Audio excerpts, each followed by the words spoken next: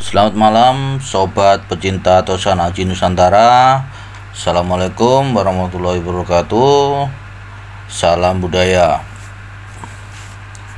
Baik, pada kesempatan kali ini Saya akan mencoba mereview salah satu pusaka saya Keris berpamor melati renunce ya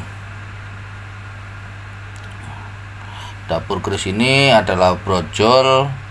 Akan tetapi saya akan mengulas atau mereview lebih ke pamornya ya pamor melati renunce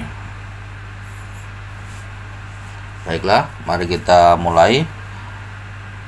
Pamor melati renunce adalah pamor keris yang cukup populer ya dan banyak dicari oleh para penggemar Tosan Aji Nusantara. Selain pamor yang langka dan istimewa, pamor Melati Renonce juga dipercaya memiliki tua yang ampuh untuk menambah karisma, memperluas pergaulan, serta mempermudah pemiliknya dalam mencari rezeki dan mengumpulkan kekayaan ya motif pamor melati rinonce. Ada juga yang menyebut pamor melati rinenteng. Mirip dengan kelopak bunga melati yang diuntai dengan seutas benang. Bisa kita lihat bilahnya. Bentuknya berupa bulatan-bulatan berlapis yang berderet di sepanjang bilah keris mulai dari pangkal sampai ujung bilah.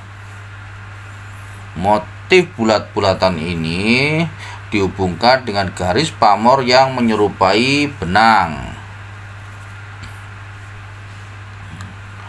Keris melati rinoce atau keris dengan pamor melati rinoce dipercaya memiliki tuah ampuh ya untuk memudahkan mencari rezeki mendatangkan kekayaan, menghilangkan sial, dan melancarkan segala urusan. Selain itu juga, keris berpamor melati renonce dipercaya dapat memudahkan pemiliknya dalam meraih cita-cita serta dapat menyeimbangkan potensi tubuh, pikiran, dan jiwa.